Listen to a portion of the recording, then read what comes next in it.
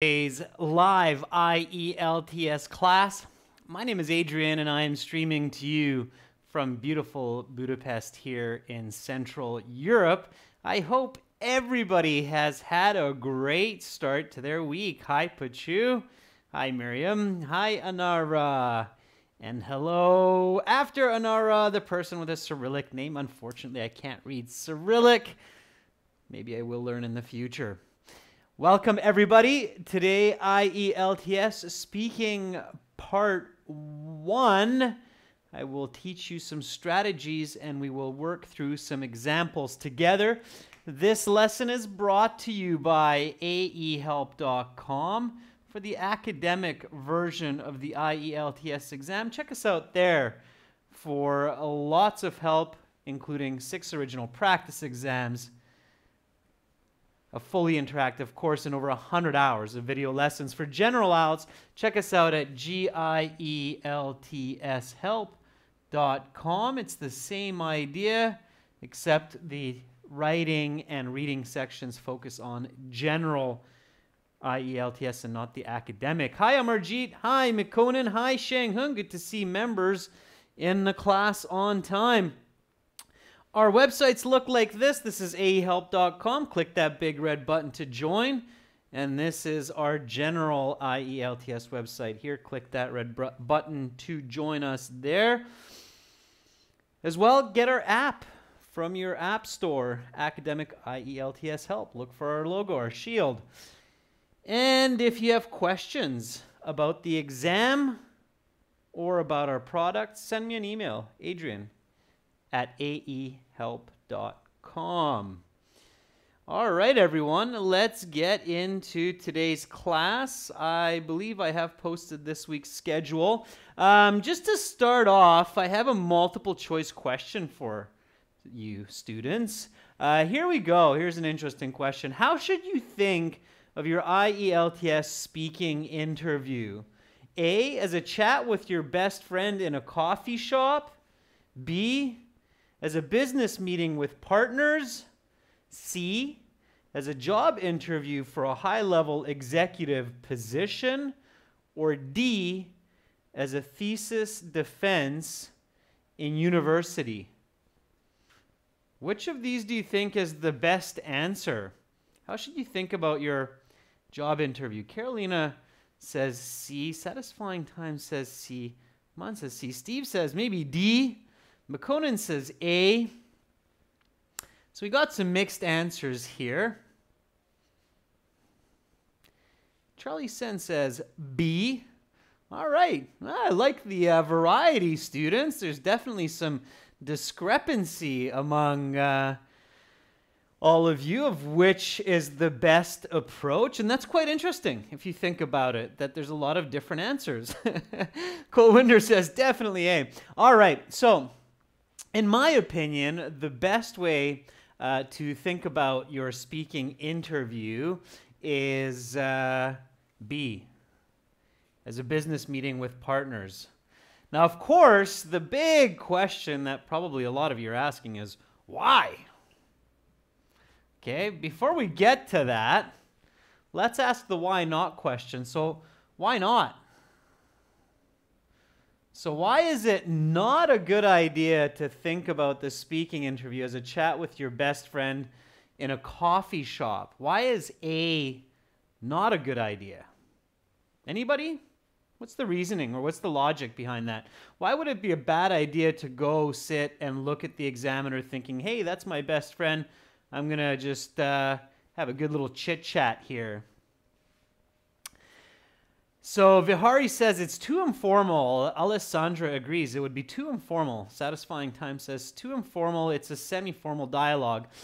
Yeah, so you're right. Um, thinking about the IELTS interview as a chat with your best friend is not a good idea for a few reasons, okay? I'll tell you why. It's very dangerous, and some students do this, uh, and uh, they don't get as good of a score as they could, okay? So too informal, that's one reason. Uh, speech is too short. So when um, when people think about the exam as talking with their best friend, they sometimes answer in very short phrases like "Yes, I think that's great," um, and that simply does not show your true or your maximum English level. So it's too informal. Speech is, speech is too short, and also you assume that the other person knows what you know.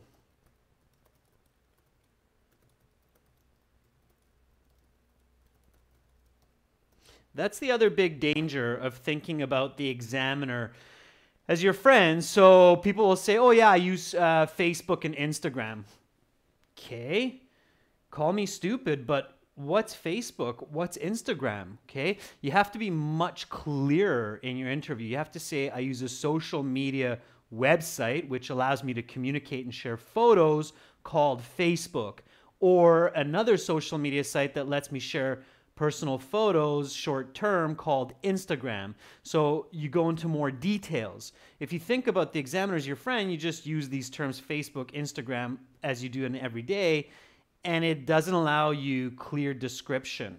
Okay, so that's another reason why.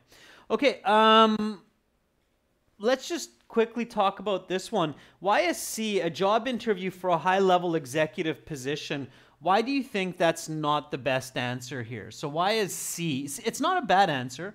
So C is C is fairly good, okay, but it's still not the best. What's what's different about a high level executive position uh, job interview uh, that's wouldn't work the best for the IELTS. So what what's the what's the difference there? why is why is C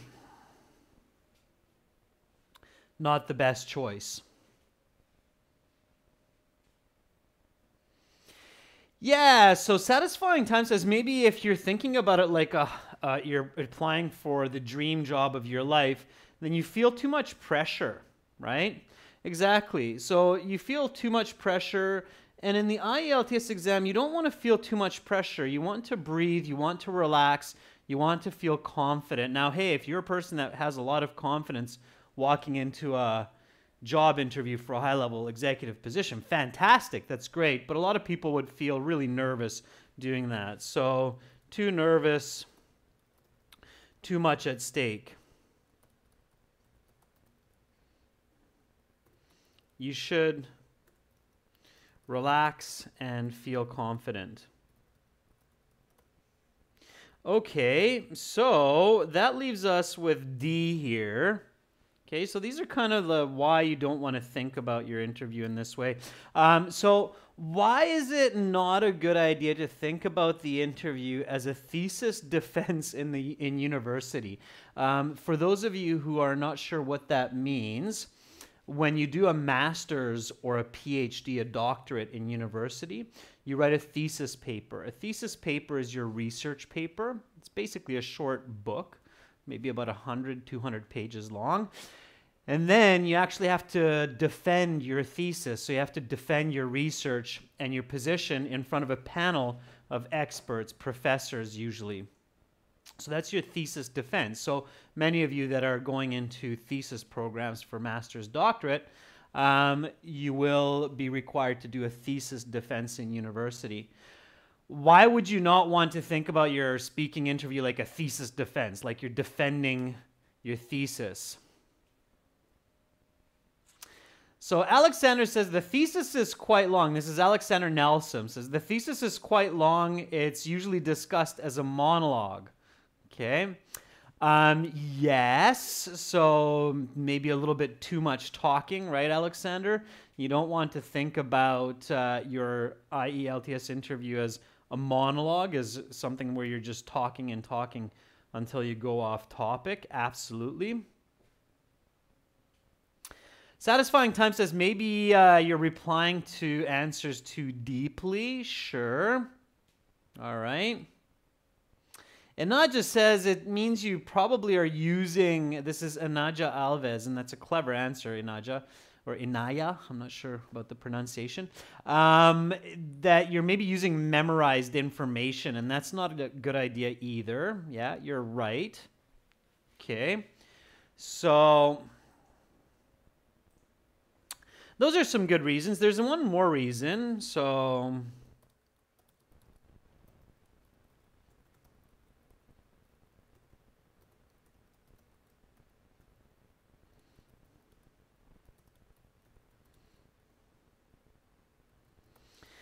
Too much depth? Yeah, maybe, but you do want to go into details in your answers on the exam. Um, the other reason why, I still don't see it, um, the other reason why is because uh, in your thesis, you want to prove your research. You want to prove your point. You want to prove your truth, okay? But in the IELTS exam, you don't, okay? In the IELTS exam, your goal is not to prove your truth or your real opinion necessarily, but your goal is to give a good answer. And sometimes that means just choosing a simple idea, maybe one that you don't even agree with. Okay? So in the exam, you want to choose an answer that 9 out of 10 people will agree with. Okay? So, um,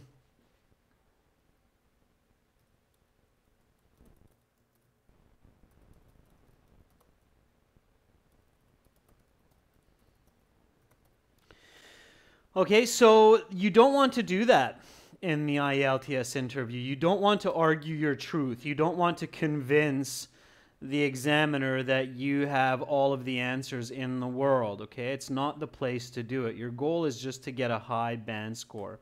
So then we come to our final question here is why should you think about your IELTS interview as a business meeting with your partners, okay? So why is it a good idea to think about the uh, speaking interview as uh, having a meeting with some business partners? Okay, so what's the logic there? So you should be confident. Feel yourself equal with the examiner. You have a common goal to get a good score. Okay? The IELTS examiner, just like your business partner, wants you to succeed. So, whenever I interview a student, I want them to succeed. I want them to get a band 7. I want them to get a band 8. That means working together. I'll ask you a question give me a nice, full, detailed answer that's accurate, and I'll ask you another good follow up question. So we're working together in good communication, right? Okay. So believe it or not, the examiner is not out to get you. They're not there to destroy your life. Okay. They're there to grade you, and eh, they hope that you will get a good band score. Okay. So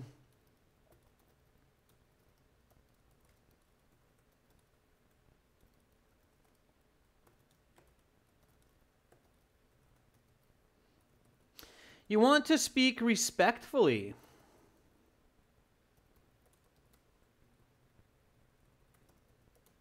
With full, clear sentences. Okay?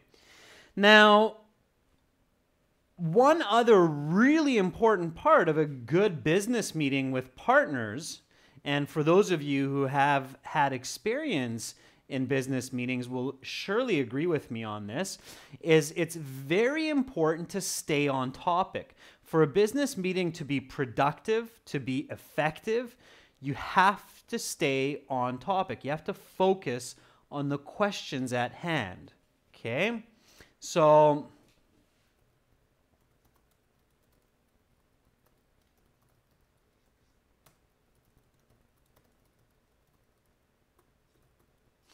All right, so those are all great reasons why you should think about the speaking interview as a meeting with some business partners. Okay, they're not your superiors. You paid for the exam.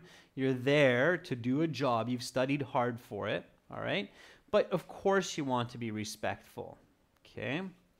Um, Carolina, yes, the examiner in most cases is the same person that scores your speaking.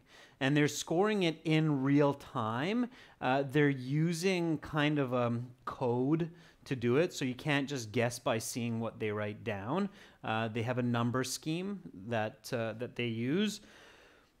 And if there's problem with the scoring, then they might ask another person to help score it. That's why they record the speaking. Every speaking exam is recorded, should be recorded, and then cataloged just in case there's a big problem with the score. For example, if their speaking score of a student is, uh, let's say, band four, every other section is band seven or eight, then obviously there might be some problem there and they'll rescore and they'll get another person uh, to score it. And sometimes they'll get a third person to score it as well. Okay.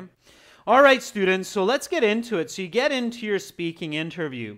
Uh, visualize and uh, imagine that you're in a meeting with partners. you can also visualize that you're speaking with your grandfather, grandmother. It's kind of the same idea as I mentioned in previous classes. And you have about 12, maximum 15 minutes to prove your English ability. Let's start with the examiner question. So the examiner welcomes you into the room. They ask you to take your seat, and they'll say, May I see your passport, please? May I see your passport? Please be natural. Be ready for this question. Make sure you have the same ID that you used to register. And then Onisim Lanut says, Of course, here you are. Uh, satisfying Time says, yes, with pleasure, please have a look. Satisfying Times, that's okay. Just make sure to sound really natural with that. So, yes, with pleasure, please have a look. Zainab says, yes, uh, please have a look. Carolina says, sure, here you are. Please take a look. Uh, so Rob says, here it is, sir, or madam. Yeah, that works as well. Okay. Farheen says, Yes, with pleasure, here you are. Uh, with pleasure, it's a little bit awkward, ladies and gents. Um, uh, we usually don't give our passport with pleasure, but um, um, it with pleasure, we use that in a situation like if I'm visiting someone and um, uh, I ask them, May I have a glass of water? And then they'll respond, Yes, of course, with pleasure. And they'll give me a glass of water. Okay, so passport, it's okay. It's not completely weird, but I probably wouldn't use it myself. Okay, so here we go. Uh, may I see your passport, please? Yes, certainly. Here it is. Please have a look. Okay, so there's a natural answer. Just repeat after me. Uh, yes, certainly. Here it is. Please have a look. Okay. Danish, yes, certainly. Here you are. It's very good. All right, then the next question, of course, will be what is your full name? They will keep your passport until you give your full name. They will match the name in your passport with what you tell them. Okay. Uh, Sonu, for the previous one, there is no most preferable. A lot of the other ones that we mentioned and students wrote are absolutely okay. There's a lot of different ways uh, to answer that first question. There's no one perfect way, okay? Um, Onisim says, My full name is Stosia Onisim. Please uh, just call me Lanut. Okay. Um, Pachu says, Sir, or Pachu asks, Sir, can we use undoubtedly in case of definitely?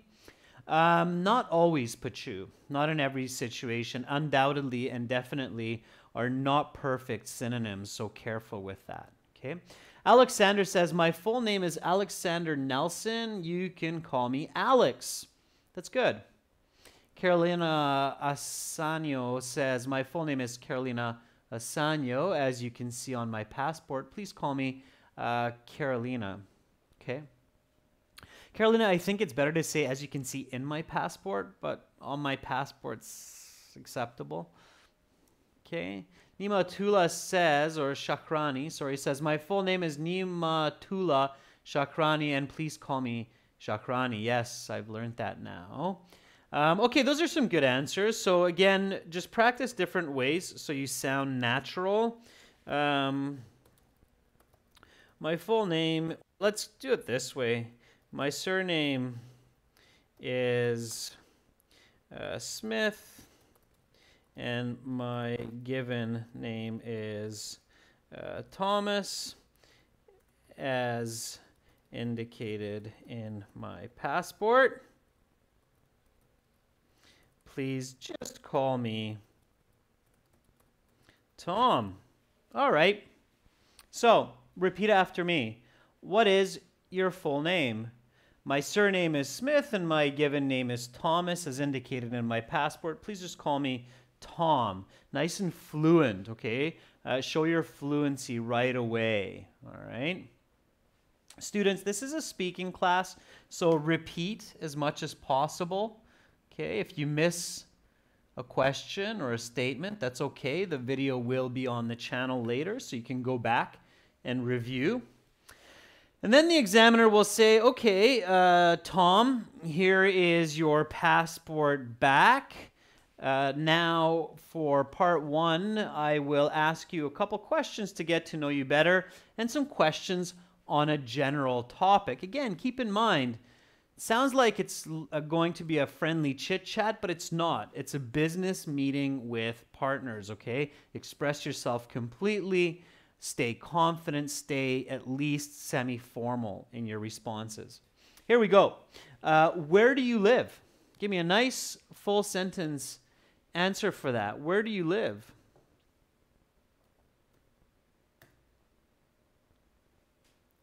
Okay, be clear. Carolina says, I live in the beautiful city of Buenos Aires, Argentina, which is the capital of Argentina, right? Okay, very good. Uh, satisfying Time says currently I live in a small town in the east of Algeria called Souk Ahras, Soukaras uh, which is known as the home of lions. Very interesting. Okay. Uh, Mr. A.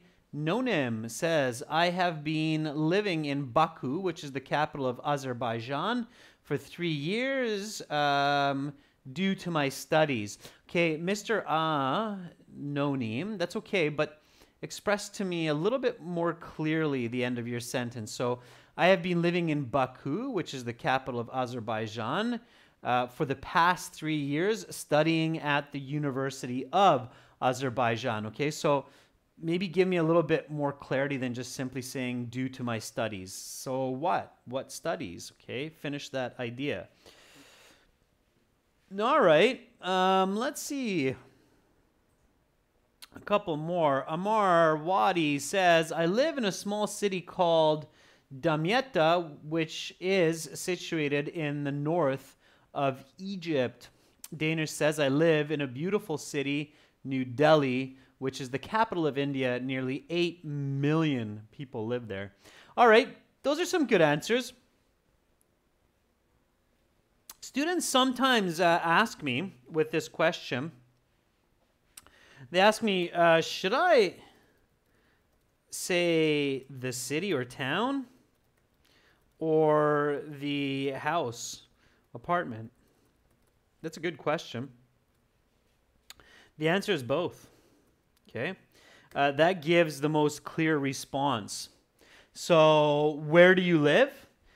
Again, clarity. Always reach for clarity. Um, the greatest level of clarity I can give here is I live in a two bedroom apartment in downtown Victoria, which is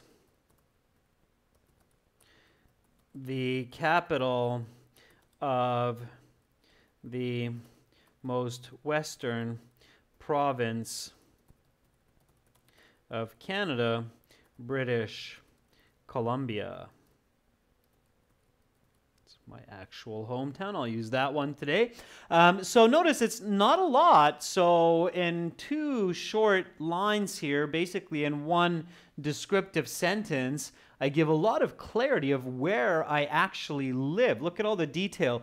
Two bedroom apartment. So immediately I have quantitative language. You get an idea of the size of my living space and the shape or the type of living space. In downtown Victoria, so by adding downtown Victoria, okay, uh, immediately you get an idea that I'm in the heart of the city. All right. If you're on the outskirts, you can say outskirts of Victoria, or for those of you living in New Delhi, you could say outskirts of New Delhi or suburban area of New Delhi. Okay. Um, and then here, following with an adjective clause, which is the capital of the most western province of Canada, British Columbia. So again, a lot more description. That's how you get that band 9 level communication going, okay? So again, repeat after me. I live in a two bedroom apartment in downtown Victoria, which is the capital of the most western province of Canada, British Columbia, okay? Jancy, uh, Jose, um, downtown's meaning means the core of the city. So it means the center of the city. It's where you find City Hall, the central police station, fire department, usually one or two big shopping malls. Um, so it's the heart of the city. Okay. All right. And then you'll get another question, maybe, maybe not. Maybe they'll just go right into uh, the topic of part one. Uh, what is your favorite movie? What is your favorite movie?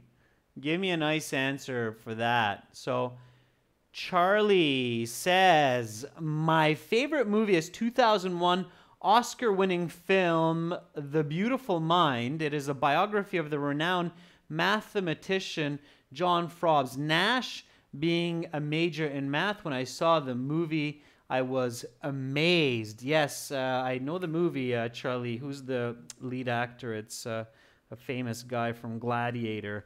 Uh, Beautiful Mind was a great movie. I agree with you, Charlie. Very nice movie indeed.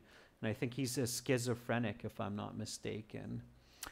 Um, Danish says, Danish Reza says, my favorite movie is PK, which is the most successful movie of Bollywood. In fact, last week I saw this with my younger brother and we both enjoyed it a ton.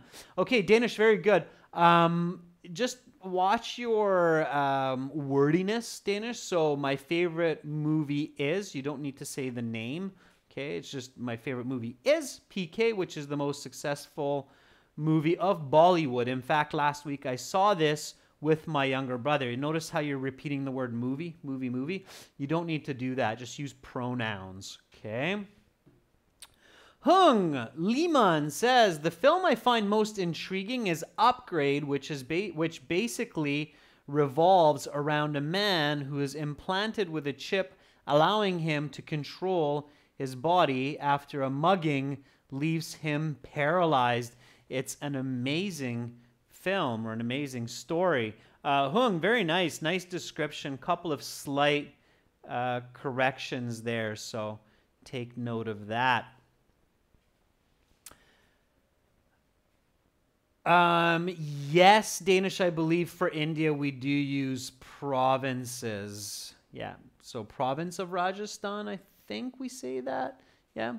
Um, okay, Aman. Uh, Jum says, My favorite movie is Sultan. It is quite attractive and it's made by the king of Hollywood. His name is Salman Khan. Okay, so he's the producer, Aman, or is he a lead actor in the movie? Careful, because it sounds like you're talking about a producer. I'm not familiar with Bollywood. Um, people so much, so I wouldn't know. You have to describe it very, very clearly. Okay? All right. So, um, my favorite movie of all time, or let's paraphrase, right? Film of all time is Shawshank Redemption which is a drama thriller about a man who is wrongly accused of murder and sent to jail from where he escapes with an ingenious plan. It is acclaimed as one of the greatest movies of all time by IMDb fans, which is an internet movie database. All right. So it's quite a detailed answer, but I thought I'd share that interesting little uh, tidbit with you. Okay, so again, what is your favorite movie? My favorite film of all time is Shawshank Redemption, which is a drama thriller about a man who is wrongly accused of murder and sent to jail from where he escapes with an ingenious plan. It is acclaimed as one of the greatest movies of all time by IMDb fans, which is an internet movie database. All right. Nimatula says, maybe that's too long. Uh, it depends, Nimatula. So sometimes students wonder, you know, is that answer too long for that icebreaker? If the examiner asks me this question, if I try to give an answer this long, and Nima Atula says, or Shakrani, sorry, Shakrani says, I think that's maybe too long. Um, it depends on your fluency. Okay, so if you say my favorite film of all time is Shawshank Redemption, and then you pause and go, um, it's, uh, uh, then the examiner will interrupt you and ask the next question. But if you can say it fluently, my favorite film of all time is Shawshank Redemption, which is a drama thriller about a man wrongly accused of murder, then sent to jail, and then he escapes with an ingenious plan. It's acclaimed to be one of the greatest films of all time. If you can say it quickly like that and clearly, there's no way the examiner will be able to cut you off and get to the next question. But only do that if you have the fluency. If not, keep it a little bit shorter. Okay? All right. Here we go, students. So, after those icebreakers, the examiner will say, No, it's not important, Sasaibra, to tell the truth. If you come up with a completely different name of a film, it's fine. So then the examiner will say, Let's talk about reading. Okay, so they'll introduce the topic of part one with that statement. Let's talk about reading. Okay. Uh, what types of books or magazines do you read? So, what type of books or magazines do you read? Okay. Alessandra, make sure that you're staying on topic and then it doesn't affect the next question. So Satisfying Time says, personally, I love reading um, technology magazines. It doesn't matter from what publisher, as long as it talks about computers, phones, inventions, and new software. It keeps me up to date. Satisfying Times, that's very good. It's a good answer. It's a great answer. Um, useful for you says, to be honest, nowadays I seldom read any kind of book or magazine. However, I prefer to listen to uh, audio shape of book or journal because listening takes a little little less time than reading. Really useful for you? I think I read much faster than I can listen. Um, that's an interesting response. It's also a little bit off topic. You're talking about listening to information now. I'm talking about reading. Make sure you stay on topic. Okay even if you're telling me the truth, don't. Okay? Um, so here, just say, I don't really read books or magazines too much these days. However, if I do get the chance, I read um, BBC News Magazine on my phone. Okay, so stay on topic. All right. Faisal Boskurt says, Okay, it's off topic. We'll go to another one. Uh, Gulnaz uh, Jadigarova says, I find mystic thrillers fantastic and uh, detective genres for books the most attractive, and I read these quite regularly. Uh, Gulnaz, I made a few corrections there. Inaya Alves says, I typically read magazines that are related to my job. I work as a dentist and I need to keep up to date all the time with new procedures that are developing in my profession. Okay, Inaya, couple of corrections there to make it uh, more accurate. We'll take that one. So,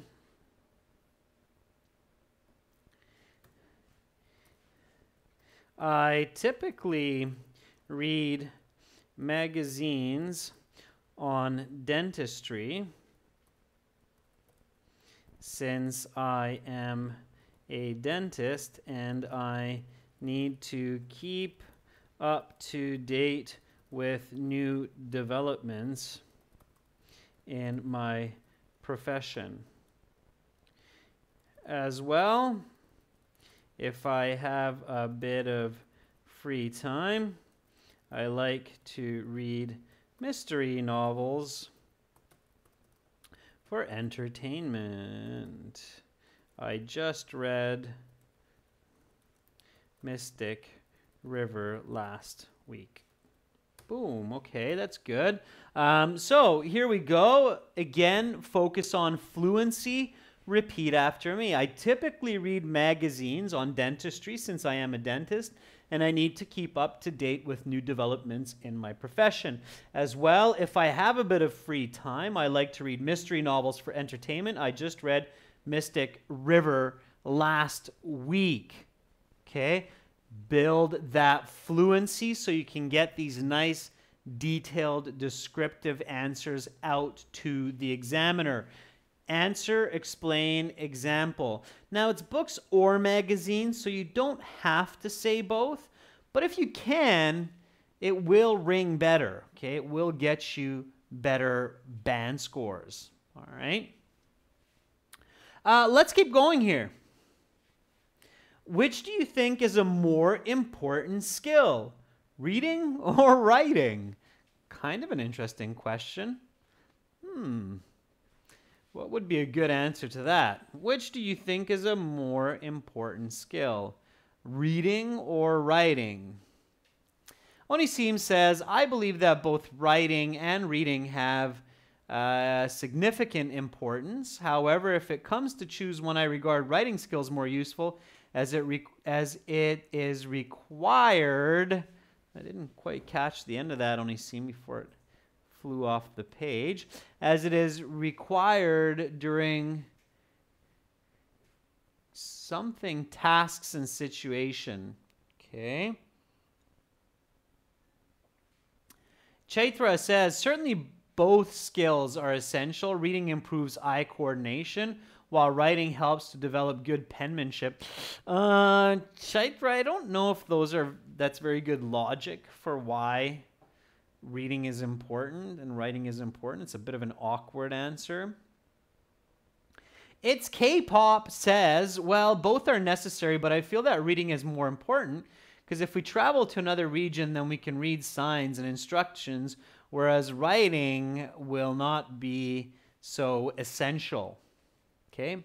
Exam Pro says, well, both have equal importance in people's lives where I usually do practice for both because I would wish to appear for this language exam. All right. Sasaebra 17 says writing due to input skills. Interesting question. Uh, writing due to do. Oh, let me catch that one more time. so many comments coming. It's flying off the screen. All right. So Sasaebra 17 says writing due to input skills which obligate us to be involved with language abilities. I'd rather be a strong writer than a reader. Okay, finish your idea, Sasayabra, uh, especially when you're making a comparison. All right. Fatah Moch says, Sir, I've recently taken my IELTS exams four days ago, which wasn't satisfactory for me, so I'm planning to redo it. But this time I want to accomplish the perfect score. What do you recommend me to do? Fatah, study, read, and write every single day. Check out our websites, aehelp.com, gieltshelp.com. Shang Hung says both of them are important since reading is an input skill and writing is an output skill. If you don't input enough, you don't have any ideas to output. Uh, Shang Hung, very, very good answer. I was wondering when uh, one of you would come up with that clever uh, perspective on reading and writing. Um, all right. So let me answer this for you as well. Clearly, both of these abilities are extremely important to master in life. But if I had to choose one over the other, I would say that it is reading, since this is an input skill that allows me to gather information and it precedes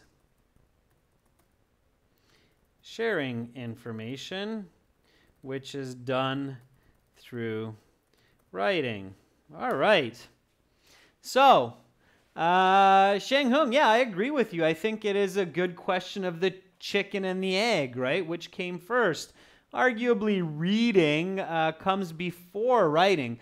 Uh, students, this is where the power of visualization can be very effective.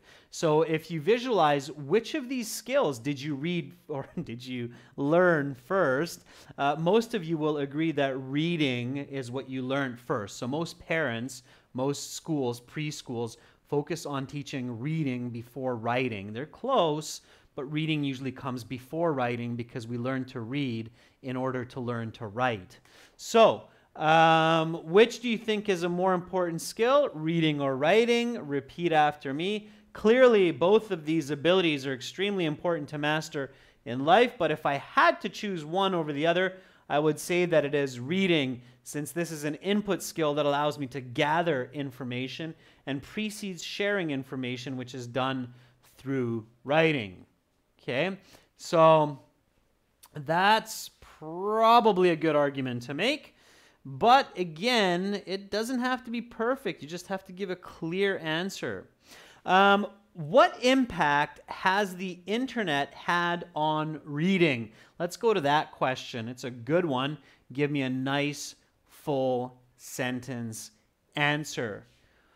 What impact has the internet had on reading? Hint, pay attention to the grammar of that question. Okay? Make sure to show me the right grammar in your answer.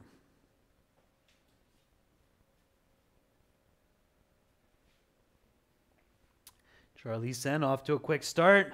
I think the inter, and I be- believe there's probably going to be more coming. All right, Zainab answering the previous question. Both skills are essential, but I believe writing is independent from reading to get ideas and to know structure. Zainab, it's not a very clear answer for the previous question. Okay, let's focus on this one, students. What impact has the internet had on reading? Again, visualize. So, seeing information is very, very important. Picture what people are doing these days with the internet, how they use it for information. Picture what people were doing before the internet. I know that's maybe tricky or difficult sometimes these days, but there was a world before the internet, uh, before Mother Google came into our lives. There was a world around our parents and our grandparents, and even during my childhood. Um, and uh, people read differently, certainly. So, Tuguldur says, uh, since the internet, especially social media, including massive amounts of written information, uh, people read a lot um, and a, on a wide variety of subjects. Uh, Tuguldur, I kind of get what you're saying, but you need to clear it up. Okay. Uh, it's K-pop says internet played an amazing role in our lives. Um, K-pop, careful with your grammar, especially your tens. Internet has played or has been playing, right? Present perfect continuous uh, K-pop. Internet has been playing an amazing role in our lives. The world has turned into a global village. So mm, aspects like connecting people worldwide, uh, ordering, expressing oneself is just a click away. Uh, K-pop, you're getting a low band score for that because you're not answering my question. I'm asking you how inter- the internet has affected reading. You're not clearly answering that, and you're making a grammar mistake. So it's going to be a sad K-pop song if you answer that way. Okay. Uh, Amar Wadi says, Oh, I believe the internet has had a great influence on reading because we can read a lot of interesting information online. We can read magazines, novels, news, as well as hundreds and thousands of posts from our favorite celebrities, our friends, our parents through social media websites like Facebook, right? Okay, Amar, not bad. Give me an example. Let me give you a higher band score. Okay. All right, those are some good answers, by the way, students. So keep going, all right? Keep pushing forward. Um, let's see. Uh, Inaya Alves says the internet is a good tool to practice reading since we are forced to read in order to communicate with friends and social media. It facilitates um, reading current events in the world on our devices like our mobile phones. All right, uh, students, this is a present perfect sentence, so use present perfect uh, right away. The World Wide Web has had a major impact on people's reading habits. I believe that before the internet, people would read longer novels and articles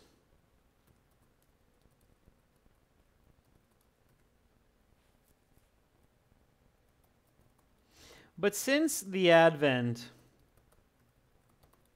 of online information, people tend to read short snippets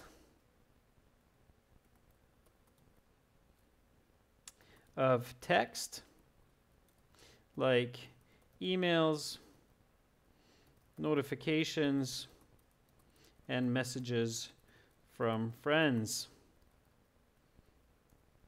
I know I haven't read a 200 page book in like a decade. All right. So, uh, again, if you are asked a question that's present perfect, has had, uh, make sure that you reflect, okay? It is a business meeting with partners. You're there uh, to achieve a goal. Your goal here is to show your high level English and communication ability. So that's what you need to do. Uh, the World Wide Web has had a major impact on people's reading habits. I believe that before the internet, people would read longer novels and articles, but since the advent of online information, People tend to read short snippets of text like emails, notifications, and messages from friends. I know I haven't read a 200 page book in like a decade. All right. It's not true. I think reading novels is very, very important. And students, one way to improve your skills for your IELTS exam is to read longer novels. So while you're studying for your next IELTS exam, you should have a nice long novel that you read a few pages from every single day 10 15 pages okay? Like an hour of reading okay? That's a good way okay? A snippet means just a short piece of information charlie. All right students uh, here are two more questions do you think it's important for parents to read to their children or is this the teacher's job do you agree with the following statement? Learning to read will set you free. Why or why not? Uh, these two questions I am going to leave for you to do for homework. Uh, record it on your mobile phone, send it to me by email, and I will give you a score estimate, a band score estimate of your speaking level. Okay. Uh, for last week's class, I had quite a few students send me their uh, MP3 recordings, and that was Fantastic. Good job for those students who did that. Um, so here are the questions again. Do you think it's important for parents to read to their children? Or is this the teacher's job? Do you agree with the following statement? Learning to read will set you free. Why or why not? I'll leave that to you for homework. Again, to improve your IELTS band scores quickly, join our websites spend a couple dollars to get some of the best help in the world online for your next IELTS exam. For general IELTS, check us out at gieltshelp.com.